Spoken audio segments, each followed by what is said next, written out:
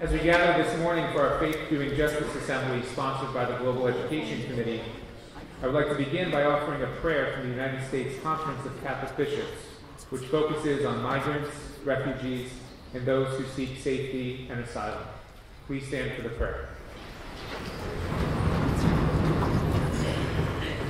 In the name of the Father, and of the Son, and of the Holy Spirit, amen. Lord Jesus, when you multiplied the loaves and fishes, you provided more than food for the body. You offered us the gift of yourself, the gift which satisfies every hunger and quenches every thirst.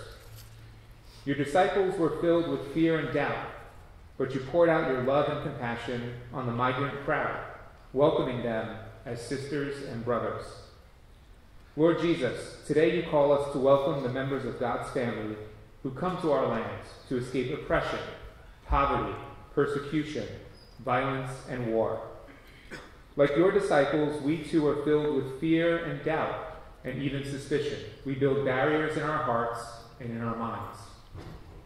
Lord Jesus, help us by your grace to banish fear from our hearts, that we may embrace each of your children as our own brother and sister to welcome migrants and refugees with joy and generosity while responding to their many needs, to realize that you call all people to your holy mountain to learn the ways of peace and justice, to share of our abundance as you spread a banquet before us, and to give witness to your love for all people as we celebrate the many gifts they bring. This morning we praise you and give you thanks for the family you have called together from so many people throughout the world. We see in our human family a reflection of the divine unity of you, the one most holy Trinity, in whom we make our prayer, Father, Son, and Holy Spirit.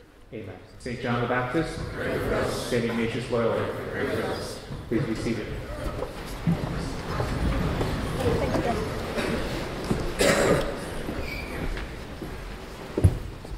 Good morning, everyone. As we recall, in the fall, we began the Faith Doing Justice Summit, and that's a collaborative effort between or among campus ministry, Christian service, the Office of Mission and Identity, the Diversity, Global Ed, and, and Social Justice Committee.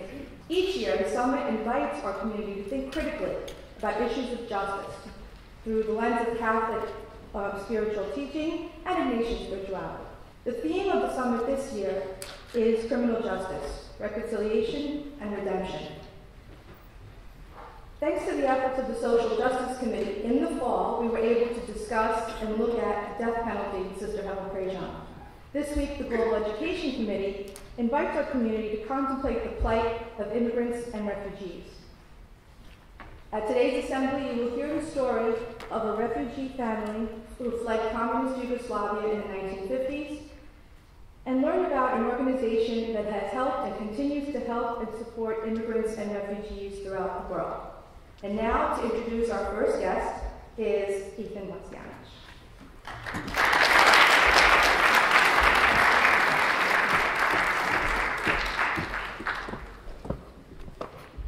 Uh, good morning, everyone. Thank you for being here. I'm proud to present someone who I hold very dear to my heart, and her name is Lidia. She's my grandmother. Uh, Lidia is an Emmy Award winning public television host, a best selling cookbook author with dozens of cookbooks published to date, a successful restaurateur and owner of a flourishing food and entertainment business. Most importantly, Lidia has accomplished all this by marrying her two passions in life her family and food to create multiple culinary endeavors alongside her two children, Joe and Tanya. Lidia's cookbooks, co authored with her daughter Tanya, such as Lidia's Mastering the Arts of Italian Cuisine, are all companion books to the Emmy Award and four time nominated television series Lidia's Kitchen. Lidia's most recent book is her memoir, My American Dream A Life of Love, Family, and Food, which was released in April 2018. Lidia is the owner and co owner of four acclaimed New York City restaurants Felidia, Becco, Esca, and Del Posto. Alongside her daughter Tanya, she owns Lidia's Pittsburgh and Lidia's Kansas City. With her uh, son Joe and Italian business magnate Oscar Farinetti, the team opened Eataly, the largest artisanal Italian food and wine marketplace, with current locations in New York City, Boston, Chicago, Los Angeles, Brazil, and most recently Las Vegas. Together with Tanya and her son, son-in-law Corrado, Lidia has developed a line of artisanal pastas and all-natural sauces. Lidia's, which is sold at fine food stores nationwide. Lidia is a member of Les Dames d'Escoffier and a founding member of Women Chefs and Restaurateurs. Both are nonprofit organizations of women leaders in the food and hospitality industries. She is also a champion for the United Nations America's Adopt a Future program in support of refugee education. Among the numerous awards and accolades Lidia has earned are seven James Beard Awards and two Emmy Awards. But perhaps her most treasured honor was when she was chosen by Pope Benedict in 2008 and Pope Francis in 2015 to cook for them in their much lauded visits to New York City. What many of you don't know is that besides being a world famous chef, TV host, restaurateur, and author, Lidia is a refugee and immigrant who has lived the American dream. On the other hand, as many of you do know, she is my grandma, and it's an honor for me to present to someone, present you to someone who I've known since the day I was born, someone who mentors me and allows me to experience the wonders of the world, and someone who makes some of the best meals in the world. My nonna, Lidia Bastianich.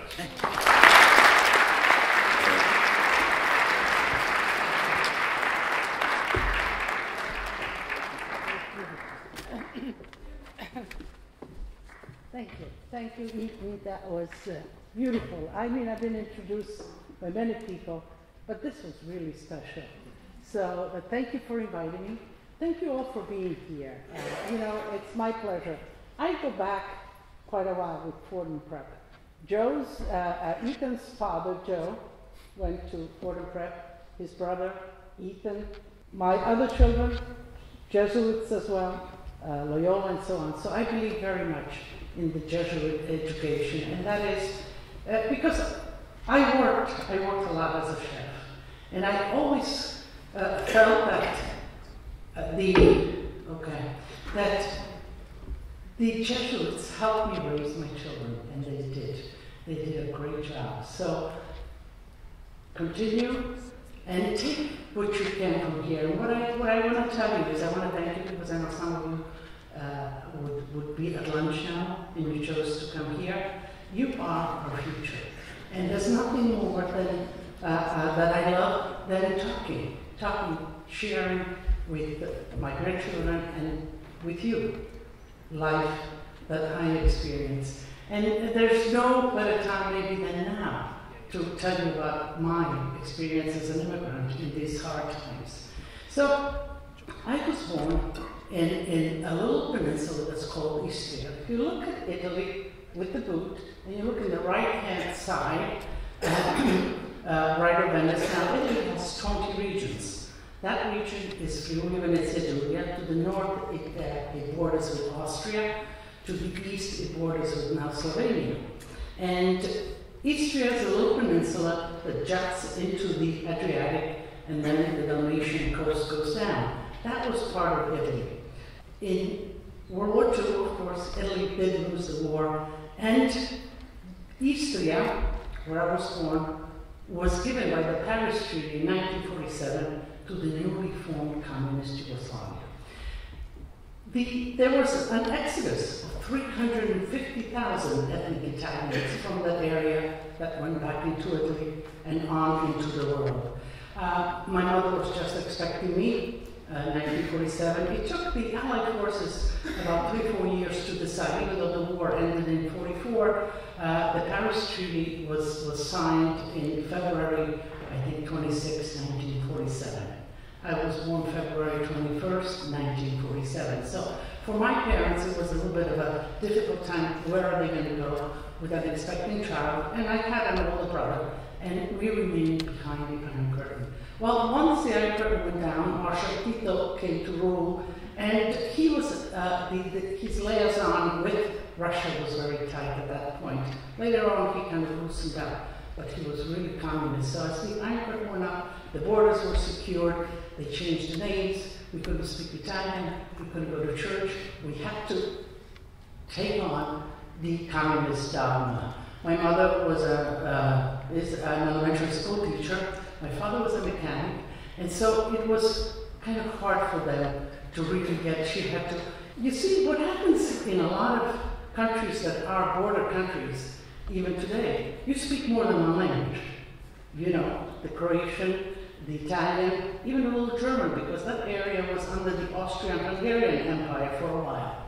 So it, it's kind of, you are who you are ethnically, but the borders switch. Not unlike what's happening today in the world, and why people are really moving on and seeking, seeking uh, a place to, to, to make a home, to be free to worship what they want, what they believe in, and to speak their own language, and to have the freedom to raise their children and educate them in the proper manner. So in 47, the curtains went down, and we were raised in uh, my parents. The city of Pula was where I was born. Now it's Pula. It was Pula. And uh, my my mother put my brother and I with actually my grandmother, who was a town maybe two kilometers away from Pula. And there, maybe as children, we had a little bit of, of more freedom. Uh, what was wonderful there is that grandma, because food was scarce, supplied the food for the whole family, not just our family. So we had ducks, we had rabbits, we had goats, we had pigs, we had chickens, and we made our own wine.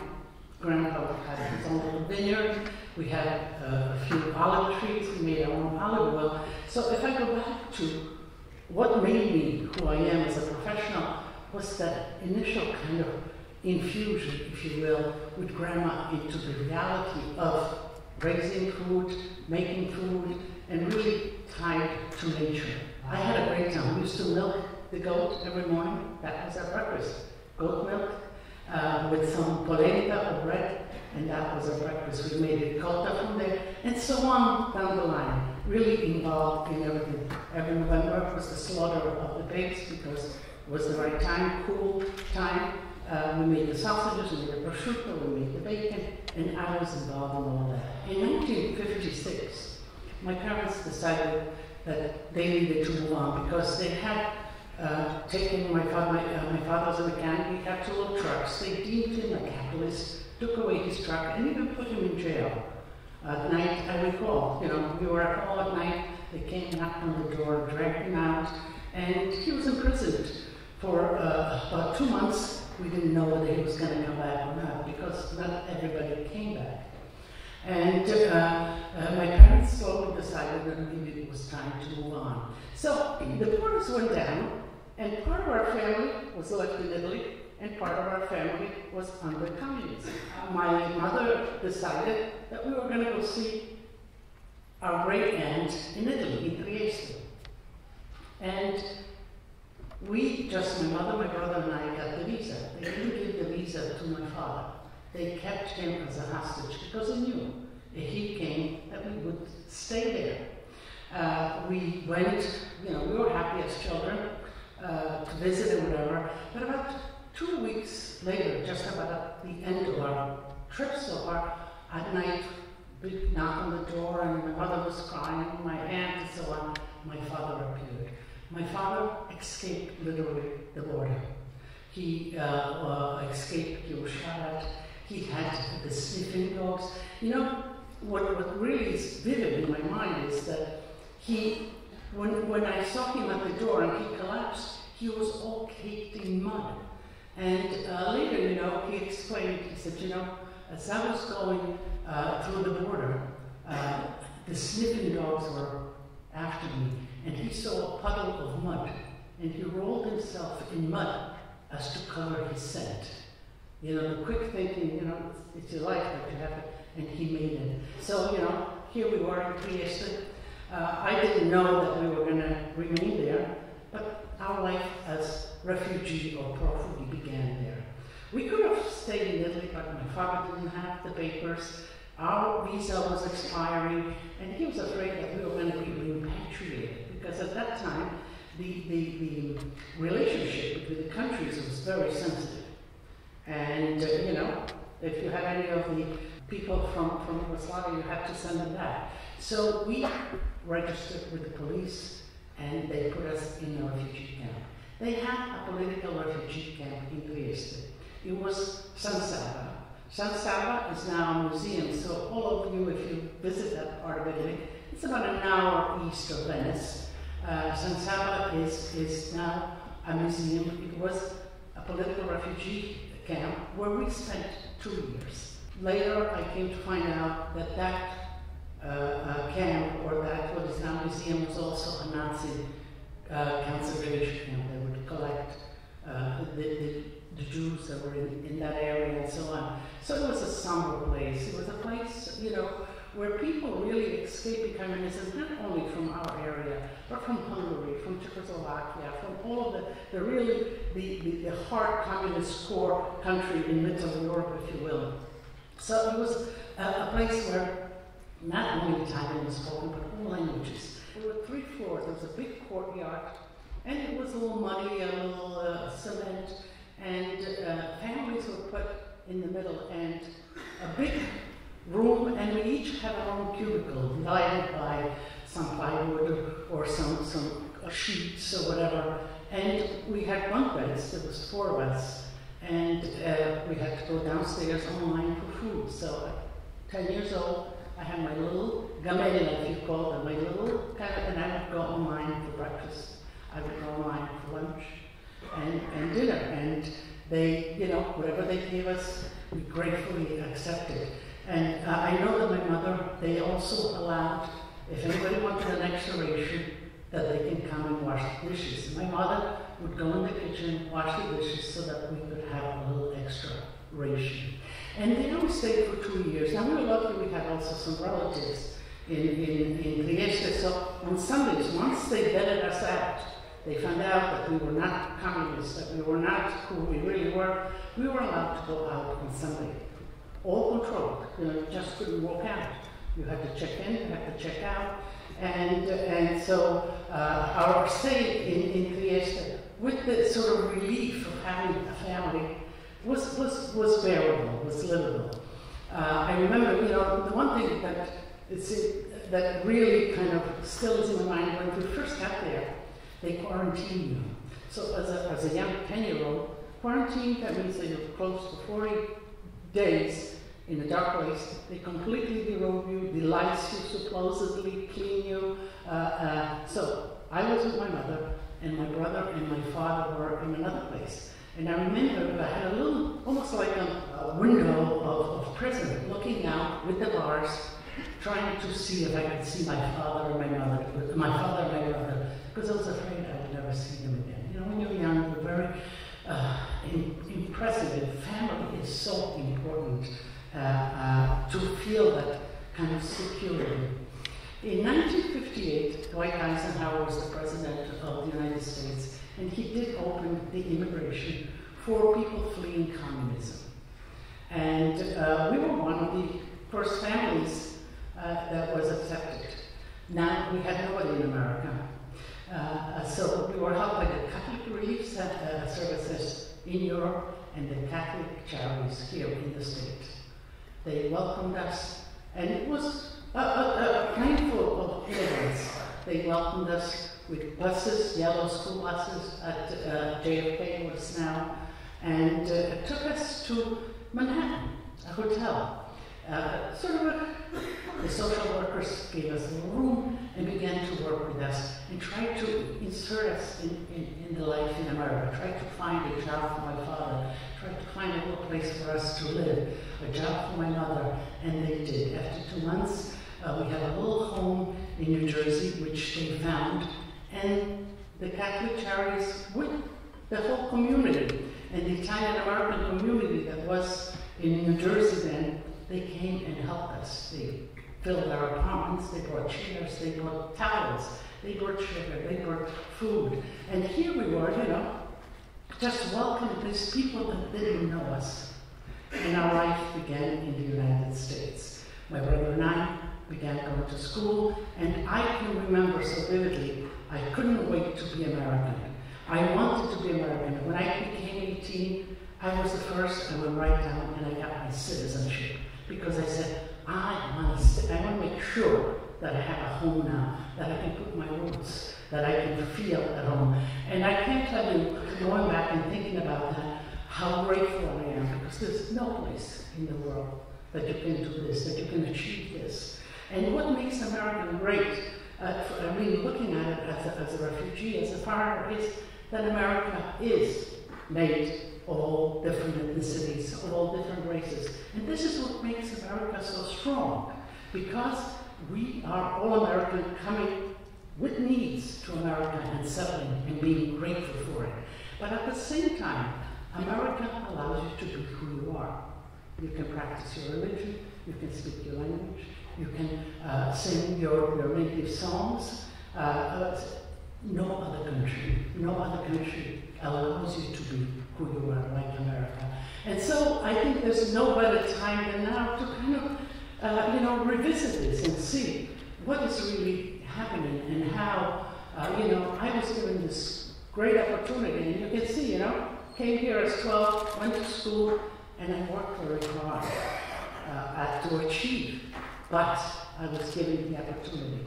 I was given the opportunity to go to school, to work hard, to take uh, certain certain leaps of faith, and I had a lot of help along the way. People that believed in what I did, because you know, this is not a success that's a sole success. For me, it is a success of our family. My mother, my brother, my father, we, the unification, being together and eating at that table, gave me the strength to be who I am, to continue until this day. And certainly Ethan knows whenever we can, we get together as much as we can around the table, and food is our unifying kind of, uh, we share it. So, you know, as you go on in life, and this is a wonderful age that you're at, you know, you're going to face many opportunities, many, many, many, many challenges. Uh, think about it. Think about number one, you need to invest in yourself. You need to become the best that you can, because that's what I did. You know, I knew what I wanted to do eventually, and I became, and I still to this day. So you've got to invest in your education, in your human part of you, and be the best that you can. And then you go out there and you take the challenges and grow as much as you can. And you'll come to a point that you will reach a great point of satisfaction of your achievements. And then you have to begin to think, how do I share my achievements? How do I give back? Certainly that's what I feel. How do I give back to the people that didn't have the same opportunities as I did? Because you are the future of America is going to be. And it's just wonderful to be able to share with you this. I know I share it with my grandkids, and Ethan, I took all the grandkids up and down that camp, up and down all the, the, the places that I was as a child, that I played, how I missed uh, grandma when I was when I realized that I didn't, I'm not going to go back. I realized I didn't say goodbye to grandma. I didn't say goodbye to my goats. I didn't say goodbye. So it was kind of a, a tug of my emotions. But I turned it around and I made food my connected, my winning card, if you will.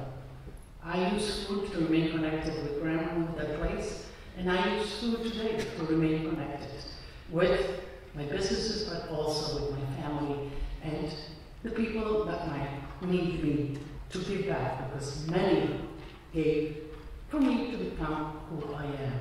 So, um, you know, as you go, the, the, the, satisfaction of maybe having reached a place of contentment, having reached a place of business happiness, and then being able to share that and to give to others and take them on, help them on their journey to become as strong and as wonderful and as great as all of you will be, which I am sure. So um, uh, I want to thank you for this opportunity. We, I think I will, we will sit down and we will open it up for questions. So you will have a, an opportunity to ask me any questions you want. So thank you very much for listening.